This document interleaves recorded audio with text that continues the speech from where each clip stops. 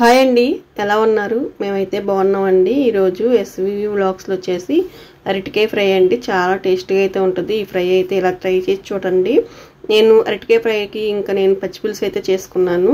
Video అయితే continue అవుతుందండి. Continue అయ్యే ముందు ఒక చిన్న లైక్ అయితే ఇవ్వండి సపోర్ట్ చేసినట్టుంటుంది. ముందుగా అయితే నేను అరటికాయని పీల్ తీయకోకుండా ఇట్లా రౌండ్గా చక్రాలల్లో కోసుకొని సాల్ట్ ఇంకా కొంచెం పసుపు వేసేసేసి నేను బాయిల్ చేసుకున్నాను. ఈలోపు నేను పల్లీలు ఇంకా ఎండు కొబ్బరి కూడా ఫ్రై చేసుకుని జార్లోకి అయితే తీసుకున్నాను. దీంట్లో వచ్చేసి జీలకర్ర వేసుకొని కొంచెం పసుపు వేసుకొని మనకి ఆ పొడికి సరిపడా సాల్ట్ అండి. కొంచెం కారం వేసుకోవాలి. మనం కారం అంటే మనం తినేదాన్ని బట్టి వేసుకోవచ్చు. ఇంకా ఇవైతే ఉడికిపోయినాయి అండి. ఇంకా మనం ఉడకపెట్టుకున్న ముక్కలు ఉన్నాయి కదా అరటికాయ ముక్కలు అవైతే ఉడికిపోయినాయి. పీల్ తీసుకుంటున్నాను ఈ అరటికాయ ఫ్రై అనేది మనకి చిన్న చిన్న ఫంక్షన్లో కూడా చేసుకోవచ్చు అండి చాలా బాగుంటుంది. కిట్టి పార్టీల్లోకి అట్లా మనకి భోజనాల్లోకి ఈ అరటికాయ ఫ్రై అయితే చాలా టేస్ట్గా అయితే ఉంటుంది. మనం ఇంట్లో చేసుకునేటప్పుడు అంటే ఒక రైస్ కానీ పప్పు కానీ సాంబార్ కానీ సైడ్ డిష్గా ఉన్నప్పుడు మనం ఈ అరటికాయ ఫ్రై చేసుకున్నామంటే చాలా బాగుంటుంది.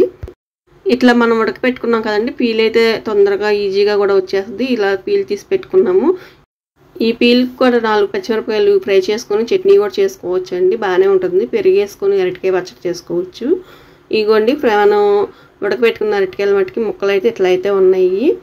పక్కన పెట్టేసుకుందాము. ఇప్పుడు మిక్సీ జార్ తీసుకున్నాం కదా దాంట్లో వేసుకున్న అవన్నీ కలిపేసి మిక్సీ పట్టుకుందాం అండి. మిక్సీ అనేది మనం మెత్తగా పేస్ట్ ఏం అవసరం లేదు. మెత్తన పొడల్లే అవసరం లేదు. ఎందుకంటే అది పౌడర్లోనే ఉండాలి కొంచెం బరగ్గా ఉండాలి. చూడండి ఎట్లయితే ఉంటే సరిపోతుంది. దాంట్లో కొంచెం వెల్లుల్లిపాయ వేసుకోవచ్చు. అంటే నాలుగు రెబ్బల వెల్లుల్లిపాయలు వేసుకొని మళ్ళీ ఒక్కసారి మిక్సీ వేసుకుని సరిపోతుందండి. మనకి ఫ్రైకి సరిపడా ఆయిల్ అయితే వేసుకోవచ్చు. మనం తీసుకున్న అరటికాయలను బట్టి మనం కారపొడి చేసుకోవాలి. ఇంకా దానికి తగ్గట్టుగా మనం ఆయిల్ అయితే వేసుకోవాలి. ఆయిల్ కాగాక తాలింపు దినుసులు అన్నీ వేసుకోవాలి. తాలింపు దినుసులు వేగుతున్నప్పుడు కొన్ని పల్లీలు అయితే వేసుకుంటే మనకి ఫ్రైలో అనేది మధ్య మధ్యలో తగులుతూ మనకి బాగుంటుంది. ఫ్రై కూడా టేస్ట్గా వస్తుంది.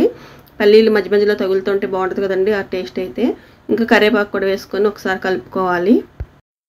ఆనియన్ అయితే సన్నగా కట్ చేసి పెట్టుకోవాలండి. ఎంత సన్నగా వీలైతే అంత సన్నగా ఆనియన్ అయితే కట్ చేసుకోవాలి. ఇంకా ఆనియన్ కూడా వేసేసుకొని ఫ్రై చేసేసుకున్నాము. పచ్చిమిర్చి కూడా సన్నగా తరుపుకోవాలండి నేను వేసింది పచ్చిమిర్చి ఇంకా ఆనియన్ సన్నగా తరిగేసి వేసాను. దాంట్లో కొంచెం పసుపు ఉప్పు వేసామంటే ఆనియన్ అనేది మనకి చక్కగా ఫ్రై అవుతుంది. గోల్డెన్ బ్రౌన్ కలర్లో అయితే ఫ్రై అవుతుంది.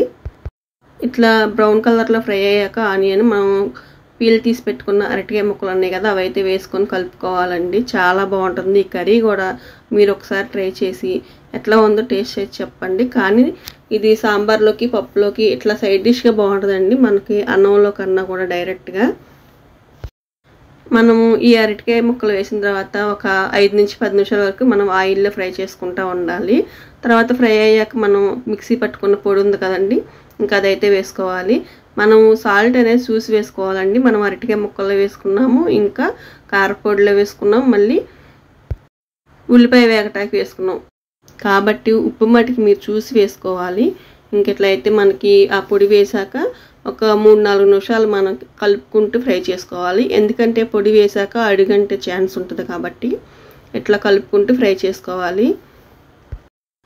ఈ ఫ్రై సన్న ముక్కలు కోసి చేసుకునే కన్నా కూడా ఇట్లా రౌండ్గా చేసుకుంటే మంచి టేస్ట్ అయితే వస్తుంది.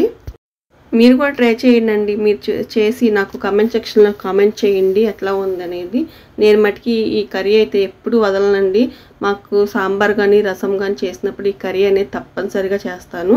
ఇదే అండి వాళ్ళకి వీడియో అయితే. వీడియో కనుక నచ్చితే లైక్ చేసి షేర్ చేసి సబ్స్క్రైబ్ అయితే చేసుకోనండి. కొత్త వాళ్ళు ఎవరైనా చూస్తుంటే సబ్స్క్రైబ్ చేసుకోండి నా ఛానల్ని. ఇలాంటి వీడియోస్ మరెన్నో వస్తాయి. చూడండి అరటికాయ ఫ్రై అయితే చాలా బాగుంది సూపర్గా ఉంది. కదండి ఇదే అండి వీడియో అయితే. బాయ్ అండి బాయ్.